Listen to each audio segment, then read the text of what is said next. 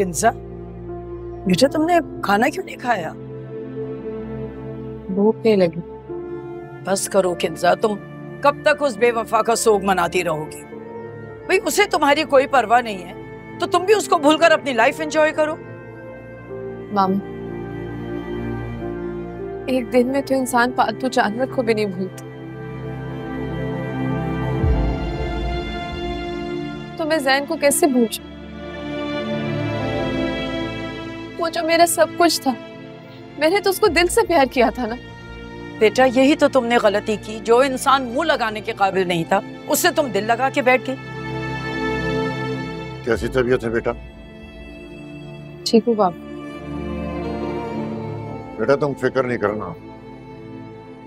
मेरी बेटी को धोखा देने वाले को मैं कैसा मज़ा सिखाऊँगा ये तुम देखना उसे अभी पता नहीं है। मैं जितना अच्छा हूँ उससे ज़्यादा बुरा भी हूँ। नहीं बापू हम उससे प्रॉमिस करें कि आप जैन को कुछ नहीं कहेंगे।